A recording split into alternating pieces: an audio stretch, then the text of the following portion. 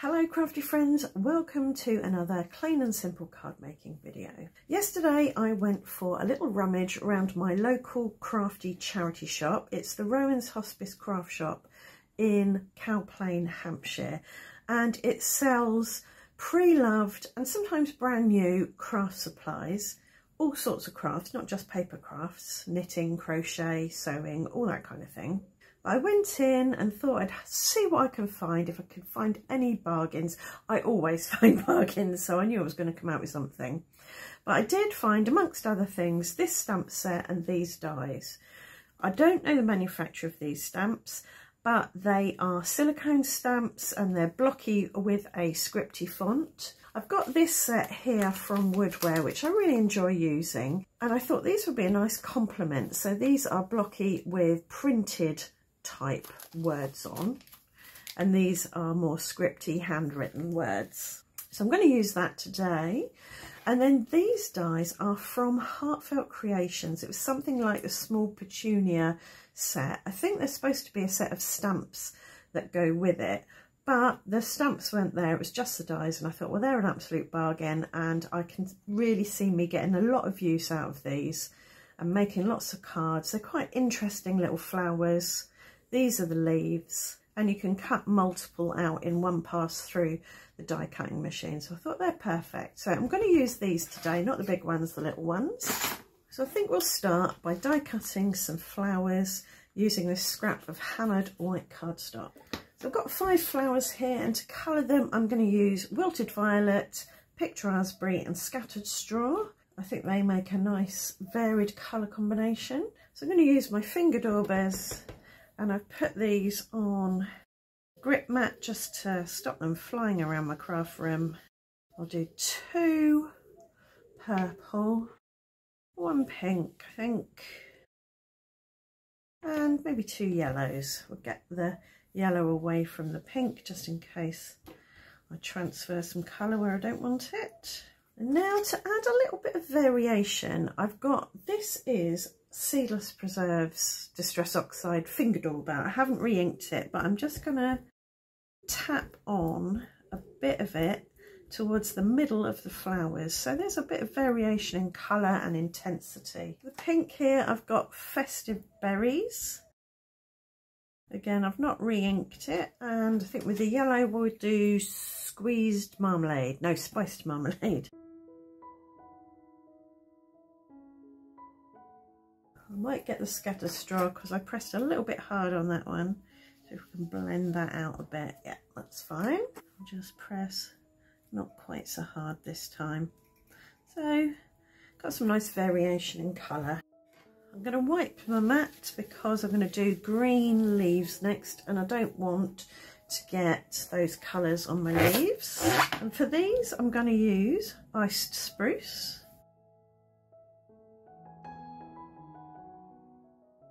And I've just grabbed this one, it's a darker green, and I'm going to tap that around the edge just to darken the edges and bring in variation again. I don't need to worry about getting in the gap there towards the middle because that's going to be covered up by the flower once I stick it on top.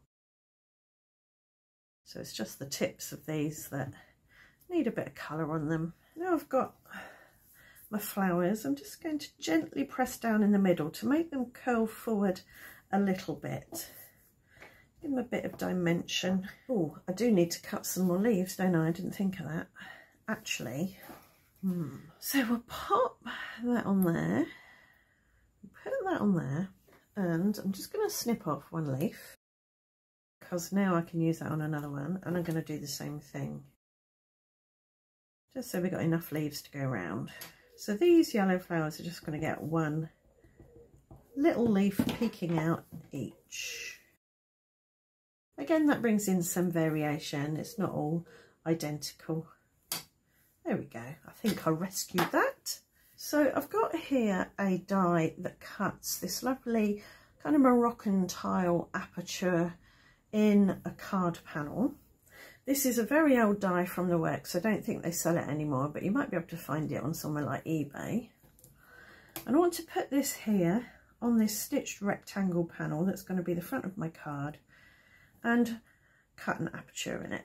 And I hold it in place with some sticky note. Put this bit of card here to protect the front of my card panel from the scratches in my cutting plate and then run it through my Cuttlebug.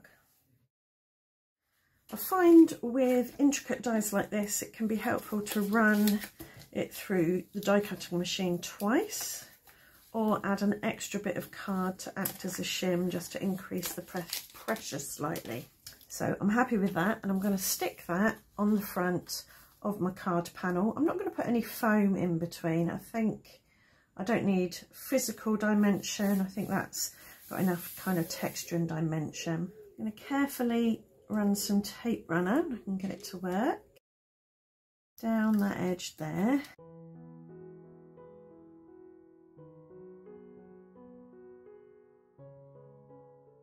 and just so that the mesh bit sticks nicely I'm going to pick up some matte gel medium with my dedicated glue dauber and daub it over there and now I can add this to my 4 by 6 inch card blank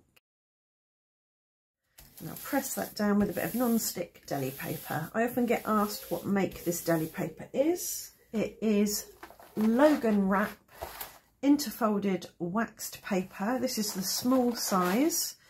I have looked it up on Amazon, which is where I bought it from quite a few years ago now, as you can tell from the box. And I don't think they sell this size anymore, but you can find the larger size, I think the medium size and the large size. You could always cut some sheets down if you don't need them that size. So, I think we're ready to think about where we want our flowers.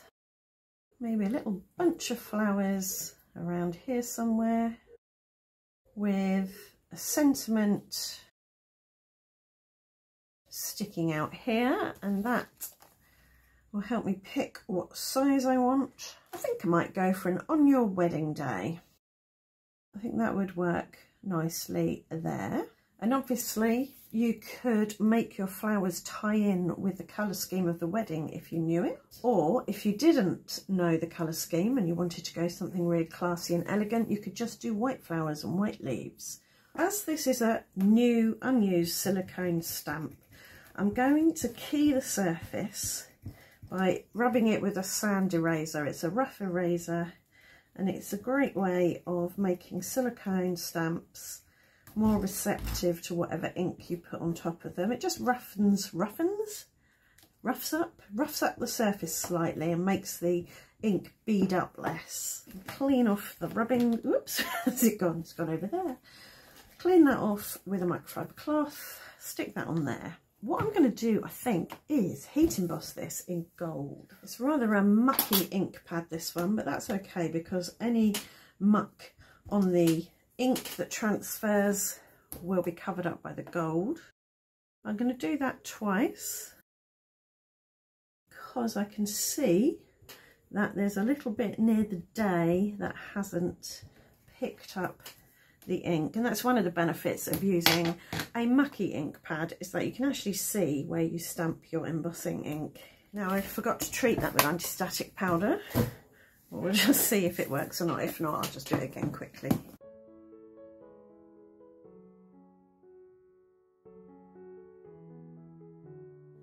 Right, I think that looks great actually. That's stamped really well and you can still read it and there's no embossing powder where I don't want it. And the easiest thing to do now for me is just to cut this out with a pair of scissors.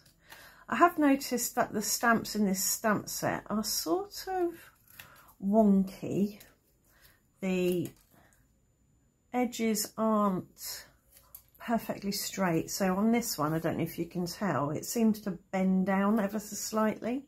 So if I was to try and cut that out with a rectangle die, it would be really obvious. But if I use my scissors, I can make sure the border that I'm giving it is the same all the way around. So that can go in there like that.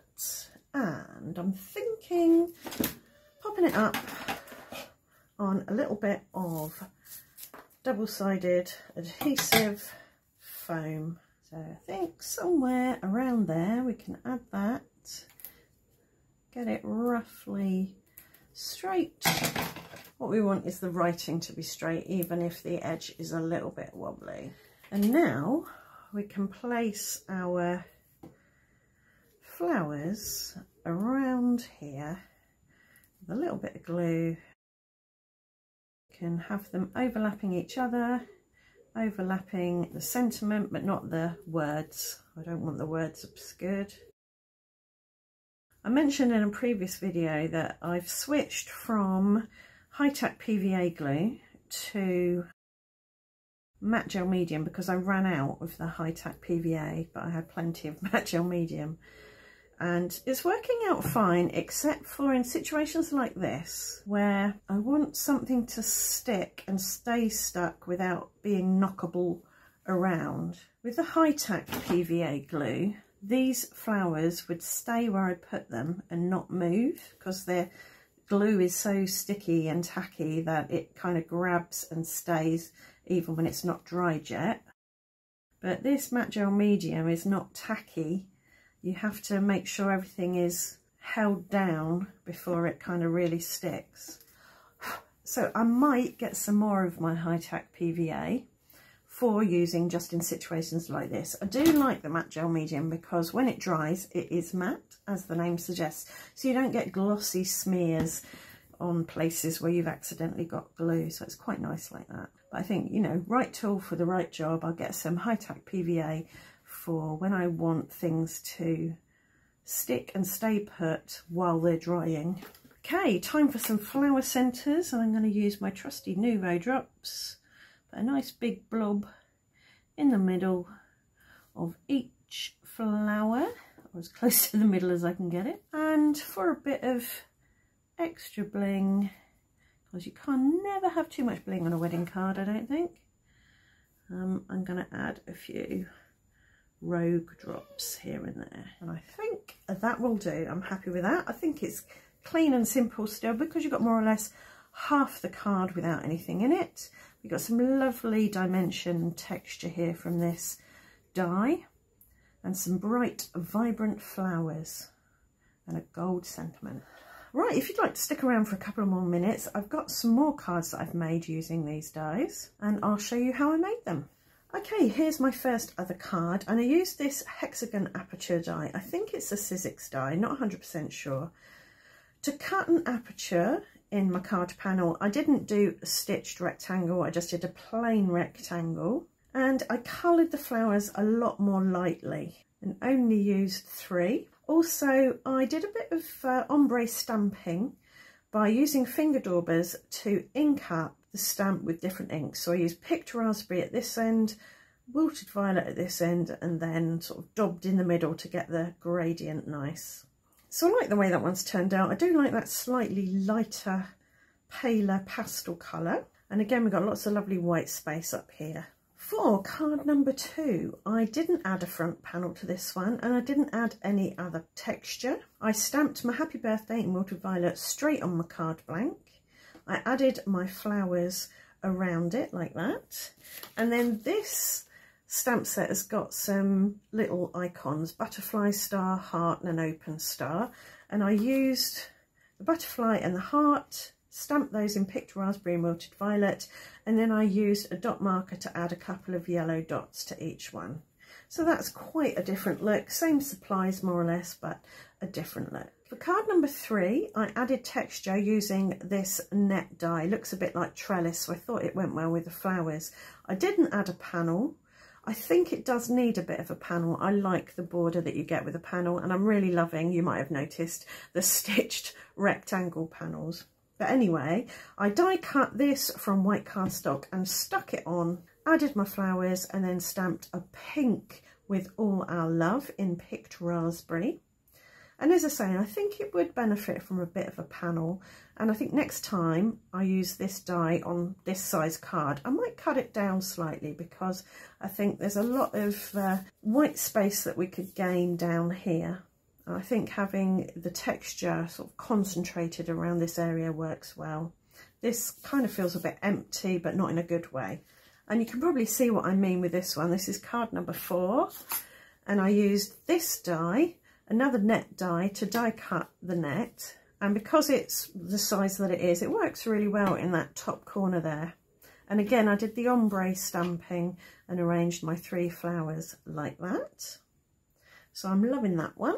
And for my fifth and final card, I used this net die to add my texture and I popped it in the middle. It just really lends itself to going in the middle, I think, because it's uh, it's almost oval, really. It's um, rectangles and squares, but the shape is almost oval and sits really nicely in the middle of a card. I popped a lots of love ombre stamped sentiment in the middle and then added my flowers around it. I did add some Gold Nuvo drops. A couple of them have gone a bit weird because I added it over the texture. But I might be able to peel those off and stick something else on or I might just leave it. No one's going to uh, turn their nose up, are they? Right, that's six cards made from my charity shop finds, plus a few other dies thrown in for good measure. I hope you've enjoyed it and I hope it's given you a few ideas. If it has, you know the drill. Please do leave a thumbs up. Let me know in the comments. Like, no, I've said that already, haven't I? Subscribe, ring the notification bell, and I'll see you back here very soon. Thanks for watching. Bye for now.